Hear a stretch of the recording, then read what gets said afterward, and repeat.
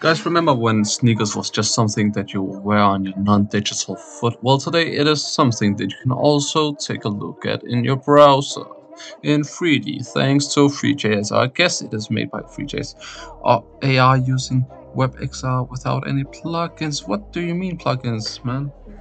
Don't play stupid. So basically we have some 3D balls and they change uh, the materials or with, in other words their colors uh, whenever you are hovering over the diverse set of shoes. So I actually like these, some of them, I mean they're cool. I will never wear these, uh, but they look cool. Still wouldn't wear them. Probably if I went to America someday. Oh, these are cool, these are nice.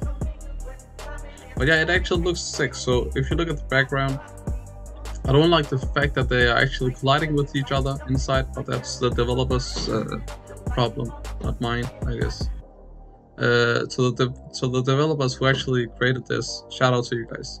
They look sick. $160 for sneakers? Bro. And they're not even... What is this even? View in 3D. Oh, here we go. This looks sick.